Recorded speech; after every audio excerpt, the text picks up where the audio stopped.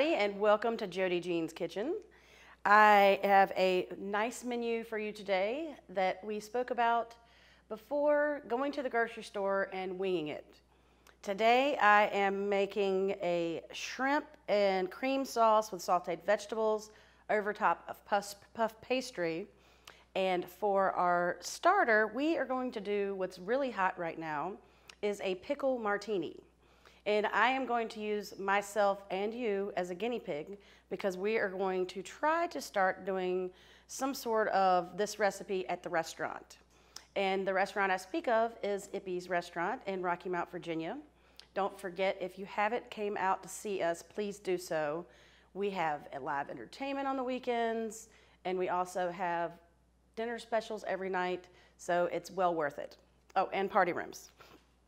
All right, so we're going to start this off today with a, I don't even know what to call it, pickle martini. We're going to have a little bit of olive juice in there. I'm not going to do the vermouth. We're going to start with one shot of vodka.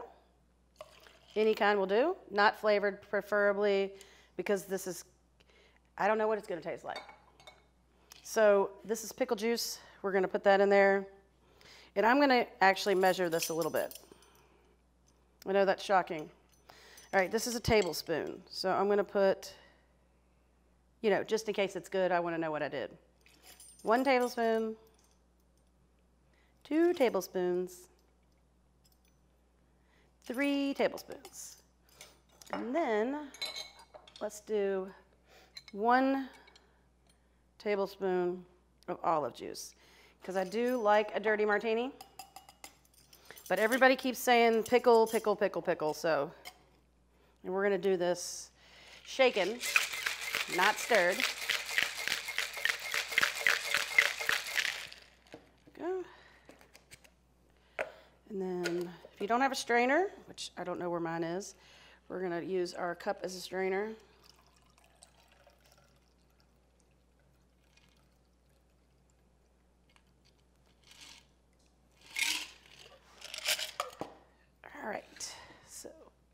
We'll garnish it just so it'll look pretty.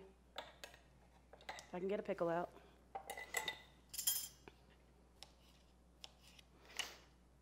Bottom. All right, now let's taste it and see what we got here.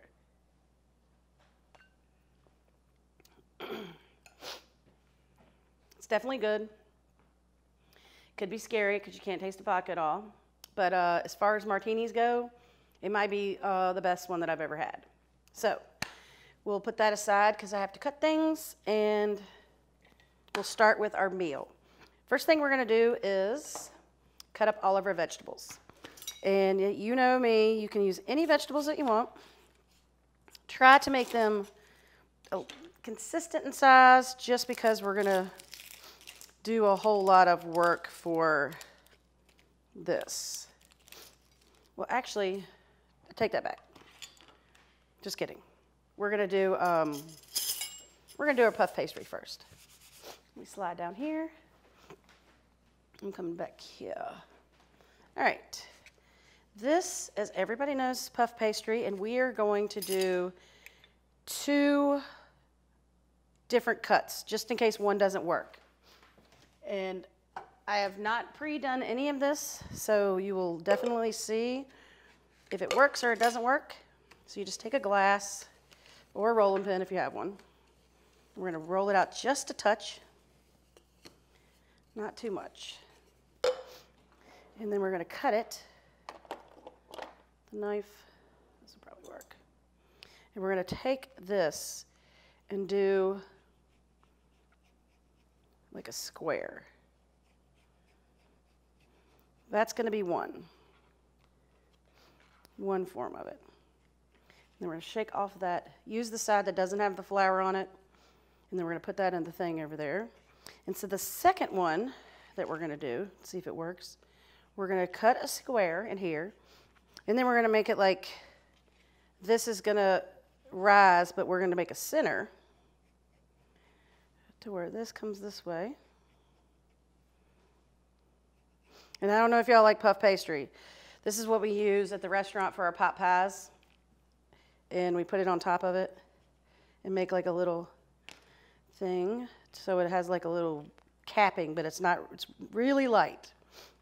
And so we're gonna take, put a JJ on here and see if that works. And we'll have two different presentations for our food. All right, next thing is we're gonna get our pan. Whoopsie. Hopefully that didn't break.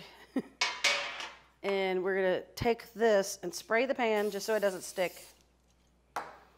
And take your puff pastry with the flour side down, like that. And we're gonna do one more of the bigger ones. Well, we'll just throw it all in there, just to see if we need that. So put that over there.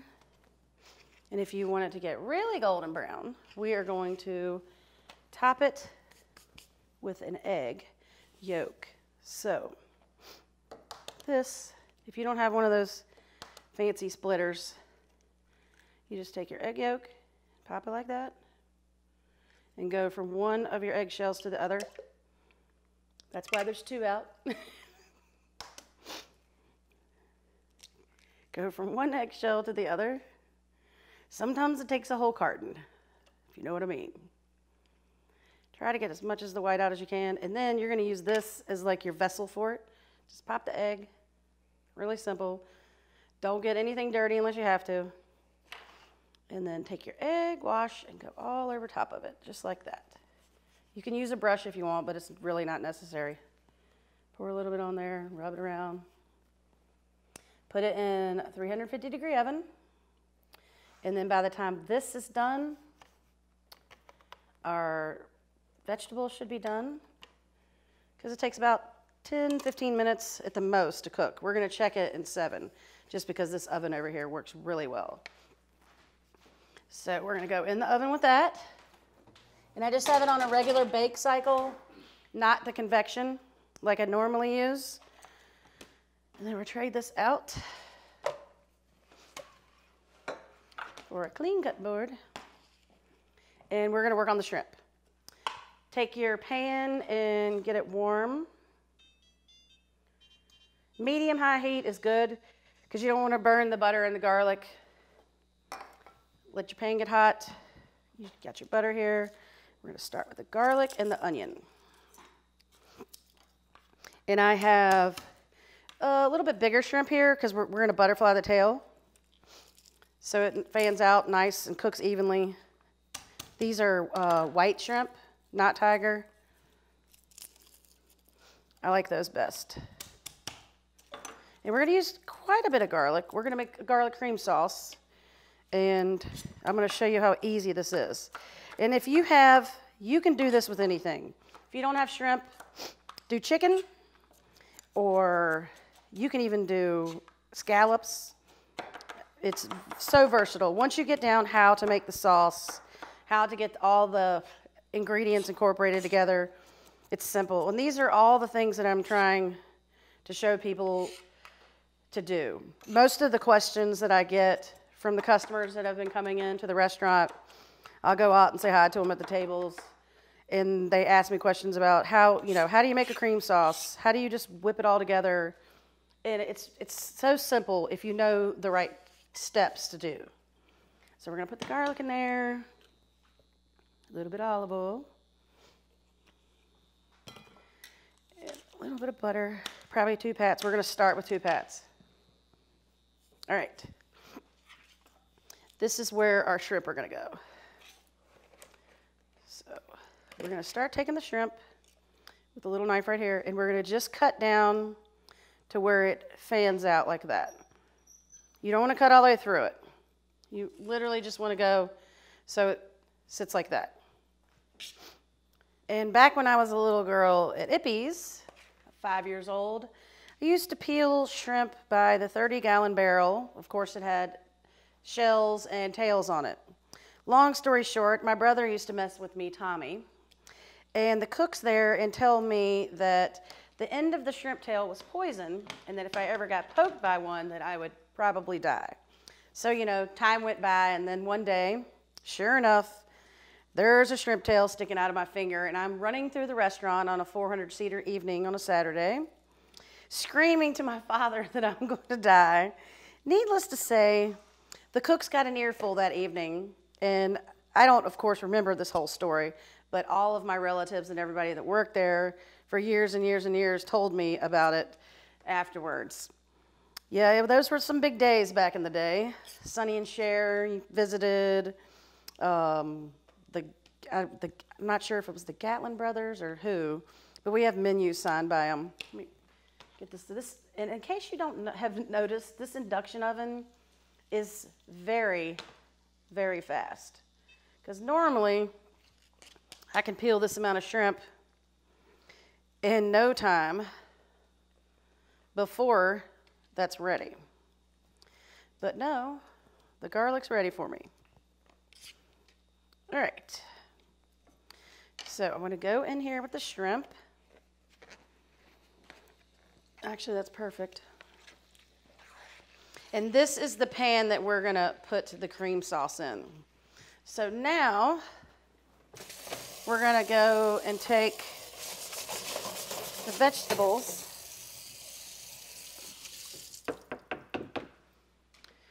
and put them in the other pan. So we're going to go ahead and turn that on and get it good and hot. So we're going to let that get, because we're going to like quick cook these so they're not cooked too much. We're going to break down an onion.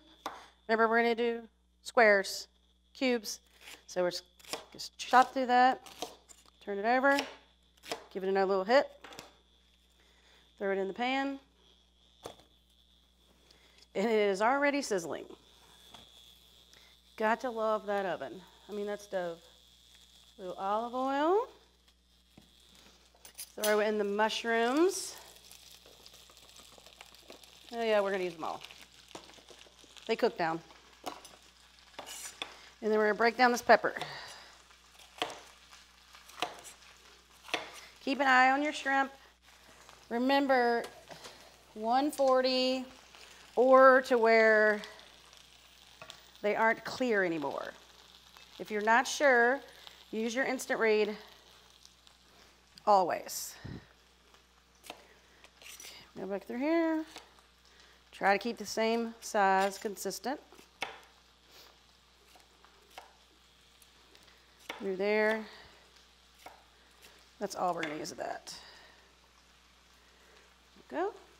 And we're gonna put the asparagus in last because I don't know about y'all, but I like for my asparagus to still be a little crunchy. And see, ooh, don't want that. When you're doing all this, as you can see, I'm moving a little faster than normal. This is when your sous chefs come in hand. You need to have people in your family involved in your cooking. They kids love to do this.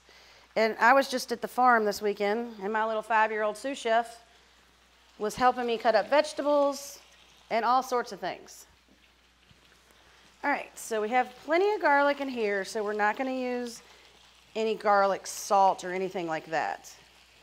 We're mainly going to season these vegetables. So we're going to go in here with some salt, a little Italian seasoning. We're going to put that. Go.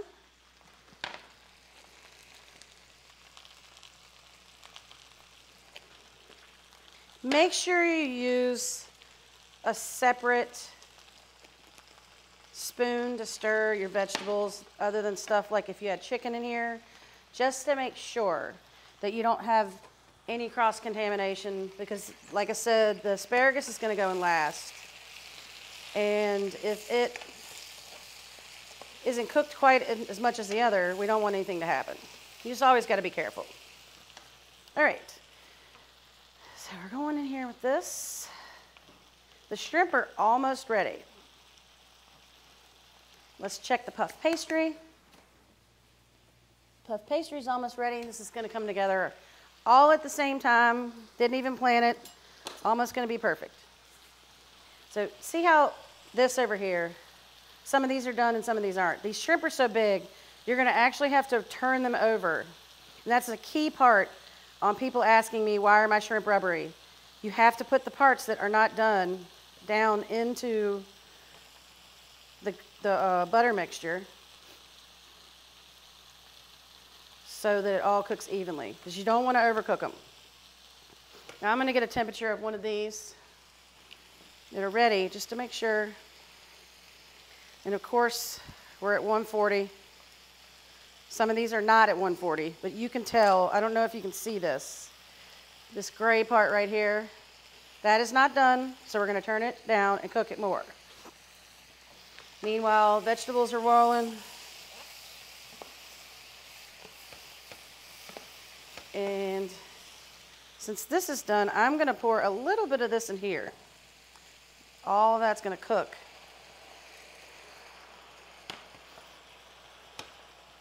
Because I don't need quite that much in there, but I need a little bit more juice in here. If you see how I just fixed that, because the, the vegetables weren't cooking down. Um, you need to have enough moisture to absorb into the mushrooms and such, so it'll, it could cook down and not just like get crispy totally on the outside. Kind of like when you're cooking uh, potatoes in a pan with onions and stuff, you want it to have enough moisture I mean, you don't want it to have too much moisture because you want those to be crispy.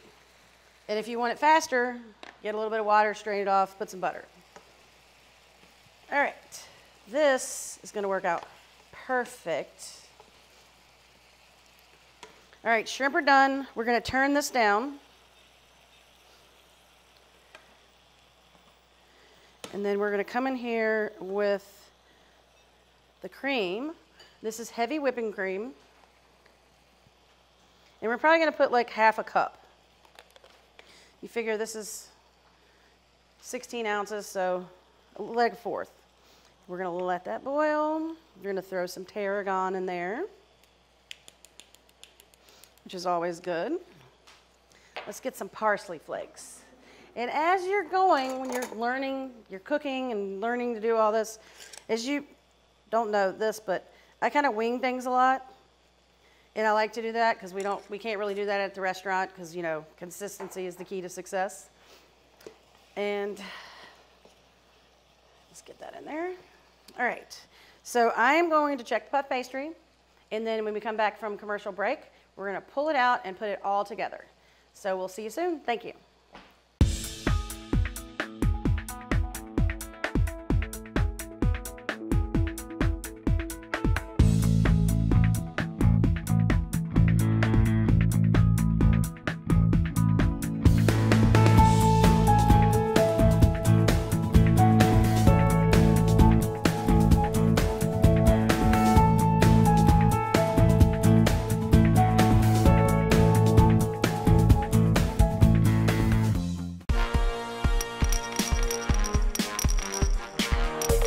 Everyone's doing it.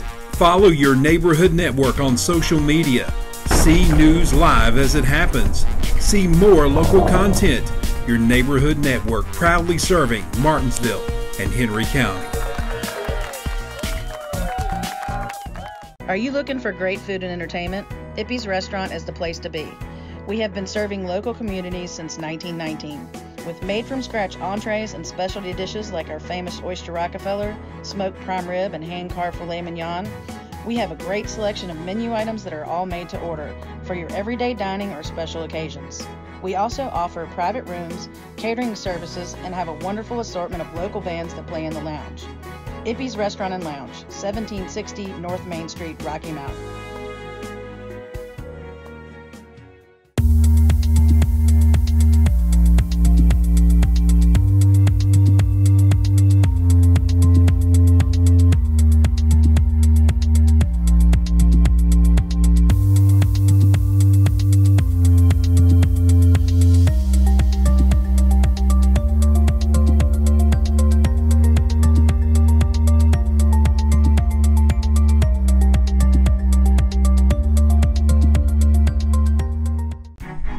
JoDee's Kitchen is brought to you in part by the Harvester Performance Center. World class entertainment year round. Harvester Performance Center, downtown Rocky Mount. Visit harvester music.com.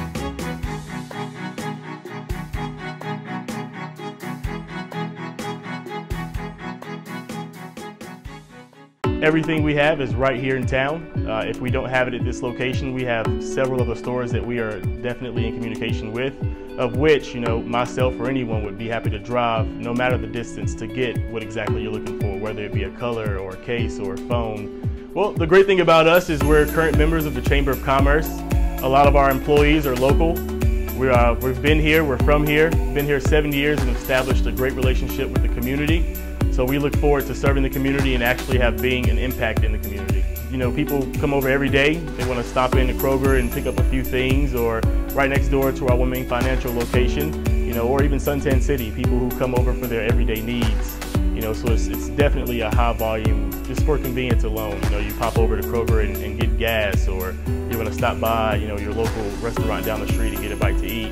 You know, we're right there within arm's reach of it all.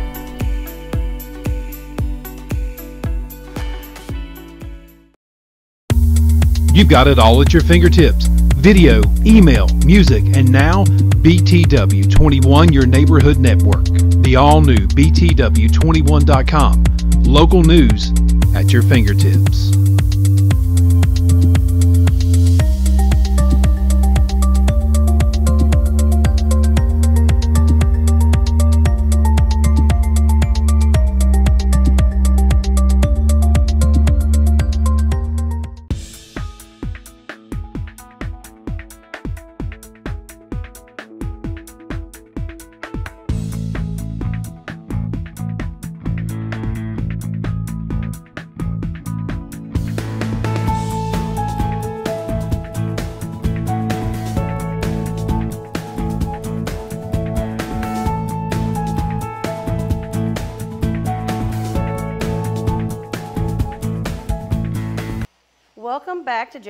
Kitchen. We are going to final up our shrimp and garlic sauce with our sauteed vegetables and our puff pastry. And don't forget the wonderful pickle martini that we made. Right now, we are going to get our cream sauce ready. I'm gonna go ahead and turn off the vegetables because they're ready. Our cream sauce has right now cream, garlic, and butter. And we're going to add four pieces of Havarti cheese because nothing can go wrong as long as you have that in there. And we turned off the, whoopsie, we turned off the heat to let it just incorporate just a little bit. And we're gonna go over here while we're doing this and pull out the puff pastry. And boy, does that look beautiful. There we go. So right now, I'm gonna take this. We're gonna do two presentations here. One of them, that's gonna be hot, so yes, that is. Even my fingers felt that. All right. See, we're gonna put this guy right here. And then we're gonna top him with that one. The JJ did not work out like it does at the restaurant. And then on the other one, we're gonna take him and give him a little poke and just fill him up. Righto. All right, now the sauce is getting nice and thick and yummy. go. And we're gonna go start straining off the vegetables and incorporating them in there with it. Now you might not need all of them, but like I said, if this is left over, put it with eggs in the morning, cheese. Uh, there's so many things. Leftover central. If you have a problem with leftovers, give me a call because we eat leftovers here every day. Because, you know, I have a cooking show. All right. Now, this is nice and incorporated. So now I have to go in here and taste this. see if I have enough seasoning in here before we plate. It's very important.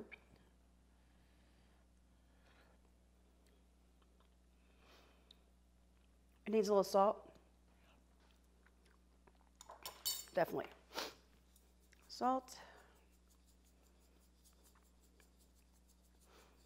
Okay, here we go. Stir that around. And I forgot to put the asparagus in there, but like I said, it's okay. We'll use that for breakfast. All right, now we are going to plate this beautiful dish. First one we're going to do is this one. Make sure you get the shrimp and all of it in your little cubby. Get some, make sure you get the juice in there. It's gonna run out the sides. And then we're gonna top it with our puff pastry. And never forget the Parmesan. There's one. There you go. And the second one, we're just gonna fill on the inside.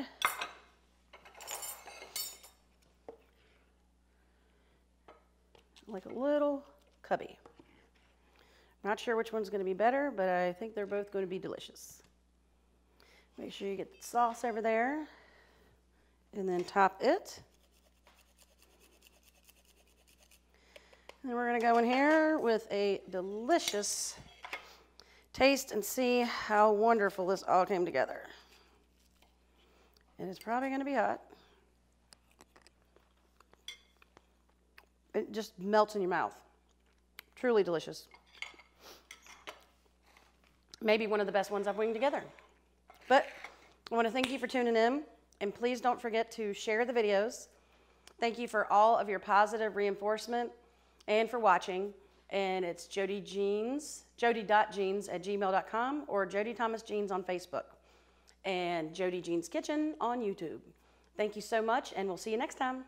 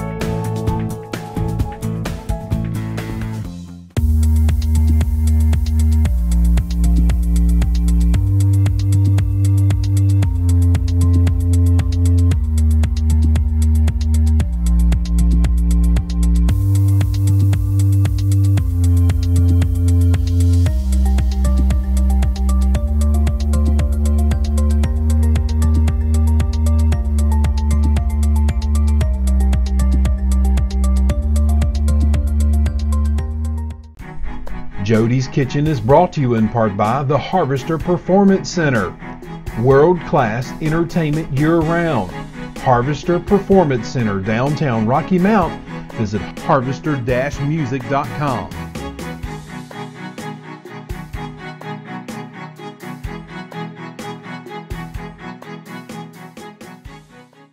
Hi, I'm Derek with Wireless Zone, Verizon Wireless, a premium authorized retailer. Come by and see us for all of your great cell phone needs and concerns. We're located over in the Kroger Plaza. That address is 400 Old Franklin Turnpike Road. Or give us a call at our store, 540-352-3950, where we've been for seven years now, serving the great town of Rocky Mount. We're locally owned, locally operated, and we're here for all of your cell phone needs. Again, that's 352-3950, located over in the Kroger Plaza. Come and see us.